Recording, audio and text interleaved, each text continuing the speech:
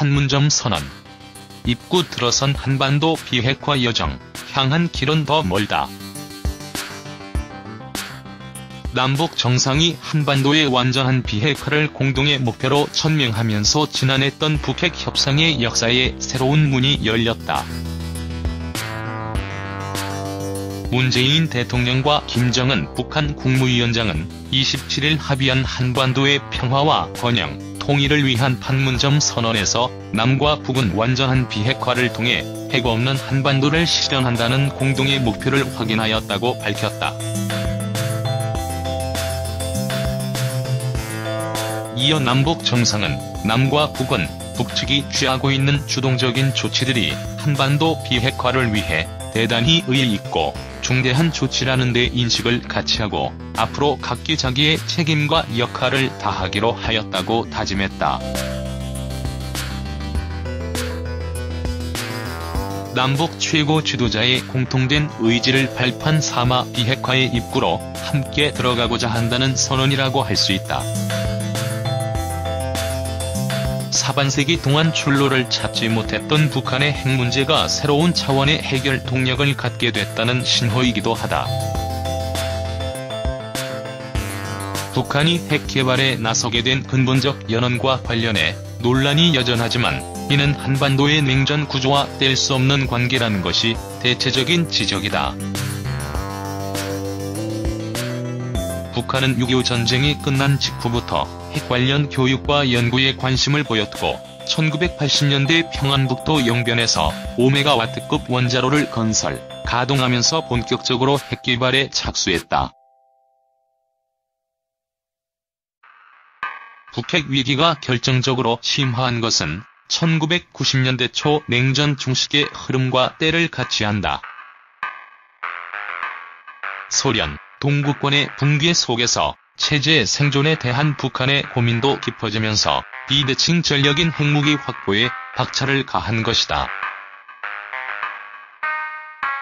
1980년대 말 핵시설 사진이 공개되면서 북핵 문제가 수면 위로 떠오른 데 이어 1993년 북한이 국제원자력기구의 대북 특별 사찰 요구 결의안에 반발해 핵 확산 금지 조약 탈퇴를 선언하면서 1차 북핵 위기가 막을 올리게 된다.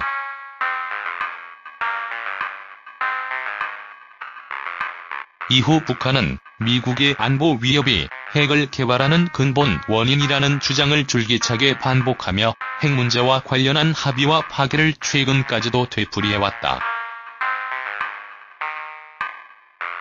북한의 핵시설 동결과 미국 등의 경수로 중요 제공을 골자로 하는 1994년 제네바 북미 기본 합의가 위기를 봉합했지만 이후 북한의 고농축 우라늄 개발 의혹으로 2차 북핵 위기가 불거지며 휴지 조각이 됐다.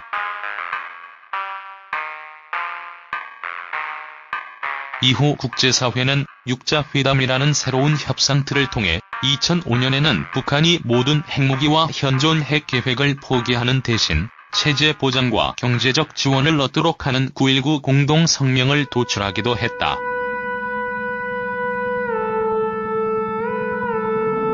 그러나 이 또한 검증이라는 문턱을 넘지 못하고 좌초해 긴 휴면에 들어갔다. 김정은 체제에 들어 시도한 2.29 합의마저 깨진 뒤 북미는 마주 보고 달리는 기관차처럼 돌진해왔다. 2012년 북미는 김계관 당시 북한 외무성 제1부상과 글린 데이비스 미국 대북정책 특별대표 간의 베이징 협의를 거쳐 북한의 핵동결, 미사일 발사 유예와 미국의 대북 식량 지원을 골자로 하는 2.29 합의를 발표했으나 이마저도 불과 2개월도 지나지 않아 북한이 장거리 로켓 은하 3호를 발사하면서 무효화됐다.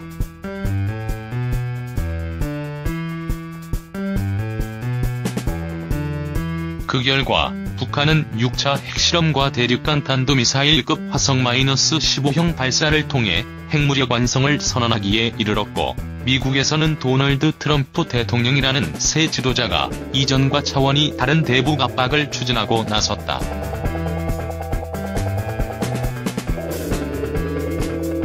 이런 과정을 거쳐 도출된 판문점 선언은 위기의 임계점에서 새로운 기회의 창을 연 결과라고도 할 수 있다.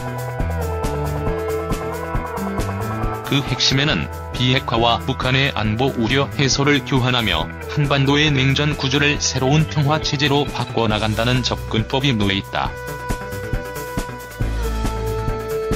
이번 판문점 선언에 한반도의 완전한 비핵화 목표와 함께 평화체제 구축을 위해 연내 종전 선언을 거쳐 평화협정을 추진하겠다는 내용이 담긴 것은 이런 맥락에서 읽을 수 있다.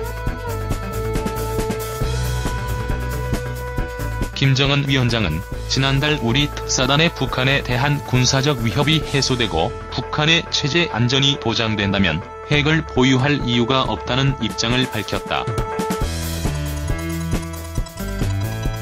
이번 선언에는 법적으로 전쟁이 끝나지 않은 상태인 한반도의 정전체제를 평화체제로 전환함으로써 북한의 우려를 해소하고 북한이 내세운 비핵화의 조건을 충족하는 상황을 종국적으로 만들겠다는 합의가 담긴 것이다.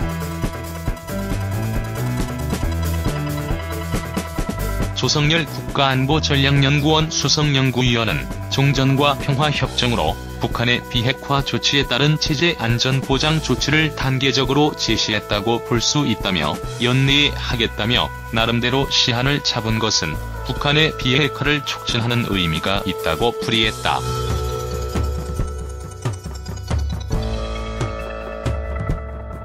이제 관심이 쏠리는 대목은 종전선언과 평화협정에 상응하는 북한의 비핵화 로드맵이 어떻게 짜여질지다. 결국 이는 5월 말에서 6월 중 열릴 도널드 트럼프 미국 대통령과 김정은 위원장 간 북미 정상회담의 과제로 남겨졌다. 북한은 지난 20일 개최한 노동당 전원회의에서 풍계리 핵실험장 폐기와 핵실험, 대륙간 탄도미사일 시험 발사 중단을 결정했다. 문 대통령은 이를 핵폐기 과정의 입구로 여겨지는 핵동결 조치로 규정했다. 이런 상황에서 연내 종전선언 단계로 실제 나아가기 위해서는 북한이 모든 핵시설에 대한 신고와 가동 중단, IAEA 사찰단 복귀 등 더 진전된 조치로 화답해야 한다는 지적도 나온다. 남북정상회담 준비위원회가 27일 남북정상회담 결과 설명자료에서 남북정상의 완전한 비핵화 목표 확인과 관련해 빠른 시일 내에 비핵화를 위한 실천적 조치를 취해 나가기로 함으로써 한반도 평화와 지속적인 남북관계 발전을 뒷받침한다고 밝힌 것도 이런 맥락에서 주목되는 언급이다.